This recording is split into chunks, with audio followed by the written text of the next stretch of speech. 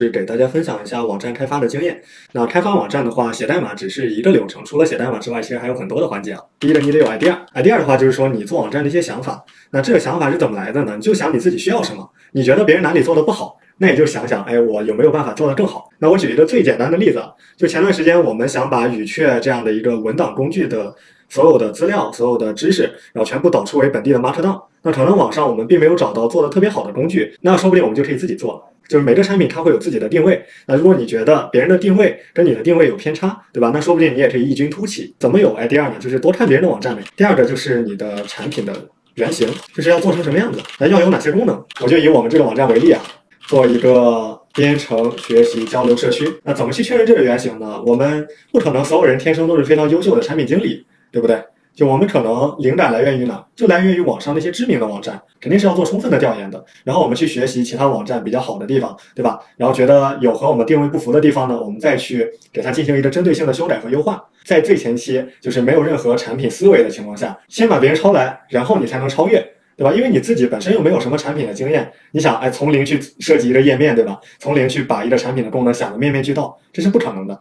那这个原型的话，我们怎么设计呢？如果不是专业产品经理的话，你就随便用着这种工具，对吧？哎，拖拖画画，比如说这是什么导航栏，然后底下这个是什么？这个是主页，这个叫文章列表，然后再加一个 footer 栏，这就是没有经过任何页面设计的原型图。就不要花太多的时间在折腾自己不熟悉的事情上。除了原型图之外，还要出一个功能模块表，你要先想清楚做什么。比如说出一个思维导图啊，啊，或者说一个列表啊。你看我们编程导航。这样的一个网站，大家猜一猜需要多少个表？就比如说这个主页里面其实就是一个信息流，对吧？然后这里不同的 tab 它展示的都是不同的模块的文章列表。交流模块里面还有圈子，然后还有话题，对吧？然后还有打卡，然后还有我们的这个项目模块。然后你像我们这个课程模块，它的开发相对来讲比较复杂。对，这其实在我们做产品设计的时候都要把它梳理清楚，对吧？你越早确认这件事情，你的开发成本越低，你后面的返工的概率越低。那第三个事情是什么呢？我们哪些需求要做，哪些需求先做，整理出一个需求排期表，就是把项目拆分成多少个模块，那每个模块呢要做什么需求都给它梳理出来。基本上有了这个，就完全足够去管理整个产品了。然后做完需求排期之后呢，那接下来好，大家就可以各自开工了。不同岗位的同学要参与到这个需求开发中。那比如说设计师，对吧？设计师要出一个设计稿。这个测试同学要做什么？是不是要出一些测试的方案和用例啊？对于我们开发同学来讲，最重要的是什么？就是你要出一个方案设计，对吧？怎么样运用这个技术去解决什么问题，或者说实现这样的一个系统？最好啊是出一个文档，就是你要非常明确，而不是说直接上手就写代码。就是像我之前是在腾讯这边做开发嘛，我们偶尔会有这种跨部门、跨团队的合作。那这种情况下，方案设计就更重要了，因为你要知道，你写代码不只是你一个人的事情。像我们假如说要调用隔壁部门的一个接口，或者需要隔壁部门的一个依赖的支持，那我必须要做什么事情？我是不是必须要先把我这边需要的内容去同步给隔壁部门？然后要看隔壁部门能不能给我支持，我要去跟隔壁部门拉齐，对吧？对齐这个口径，有一点互联网黑化啊。可以说，这个方案设计其实在越大的团队中是越重要的。而且有的时候啊，可能你作为一个实习生，或者说对这个项目呃并不够熟悉的前提下，你出一个文档也可以让更有经验的同学来帮你去确认，帮你去把关。有的时候你不太确定说这个方案是不是可行的，那你可能就要先写一个简单的 demo。第五个就是开发实现，开发实现又包括前端和后端了。如果你自己是前端后端都做，你会倾向于先做后端还是先做前端呢？反正我个人肯定是倾向于先做后端，因为后端它是要做库表设计，要做字段的定义，对吧？要明确接口。那有了后端的接口和定义之后，前端可以直接生成，根据接口文档生成接口的信息，生生成调用的代码。那前端的话用什么技术？那就是 JavaScript、HTML、CSS，对吧？有了这三个技术，理论上你就能做自己的前端网站。但是呢，只会这些，你的开发效率是不够的。一般我们还要用 Vue 啊、React 啊。还有什么 Angular 啊，对吧？还有什么 Svelte 啊，各种各样的框架。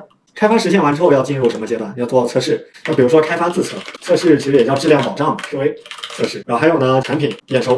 第七步就部署上线。部署上线就是把你的网页文件发到服务器上，让别人能访问。哎，这就叫上线。就是我经常跟大家说，现在这个时代啊，你如果是一名程序员，尤其是前后端开发的程序员，你想要找到工作的话，一定要有一个能够访问的真实上线的项目。对吧？要让别人知道你不是在抄别人的简历，你是自己真的做出来了。那怎么才能知道你是做啥了？那就看看你的访问地址，对吧？比如说我写简历，我就说我曾经开发过一个程序员编程交流社区，然后我直接把这个网站砸到面试官脸上，然后能让你的网站在网页上被别人搜到，那这也是一种本事。那等会也会讲说怎么样优化这方面。上线之后呢，你肯定要做一些优化。那比如你的设计优化，还有你的网站性能优化，还有网站可用性优化，网站成本优化。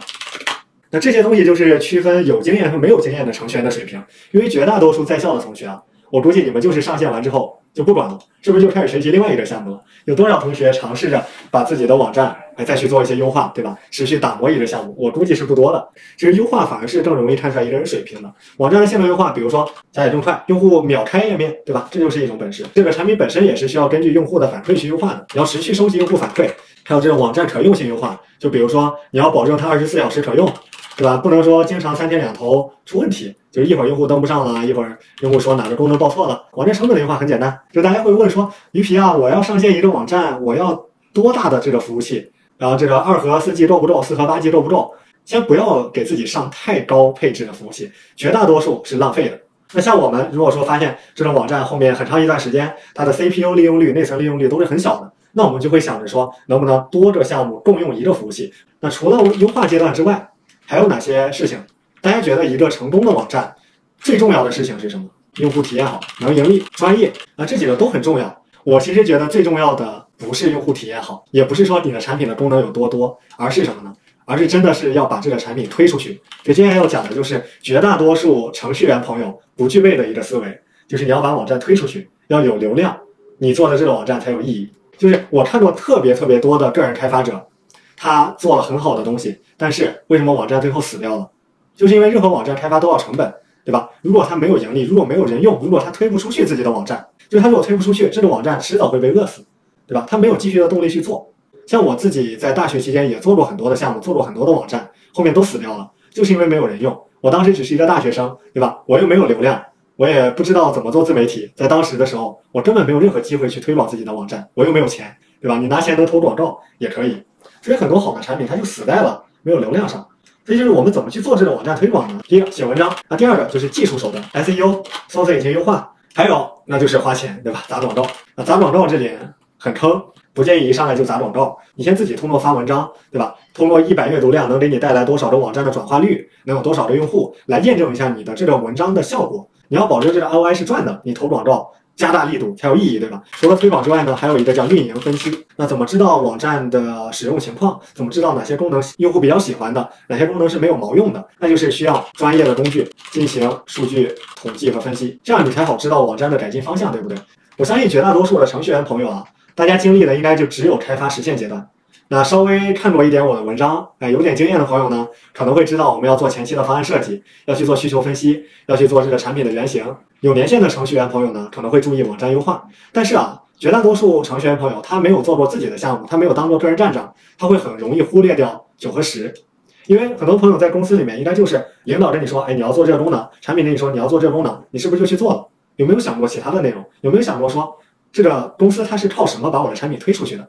对吧？我相信大多数同学是没有想过的。但是我建议，就是想成为一个优秀的程序员，或者说一个项目负责人的话，你一定要除了开发之外的事情是，就是多关注一些这个网站的推广、运营、产品的思维等等等等。就是你知道这些功能都有助于帮助你后面在做一些需求的评审的时候，或者说跟产品 battle 的时候，去考虑一下，哎，怎么去砍掉这个需求，或者这个需求怎么做得更好，从我们这个需求的价值本身去出发。